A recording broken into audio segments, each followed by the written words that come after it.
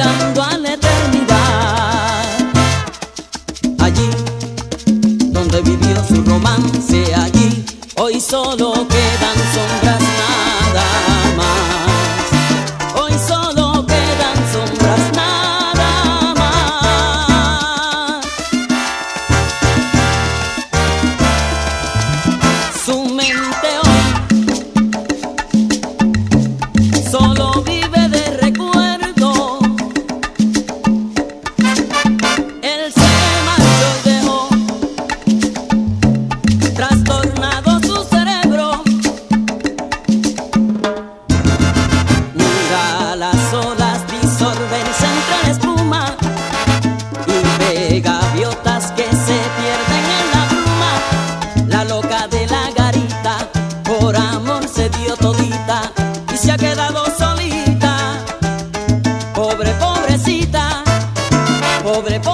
Y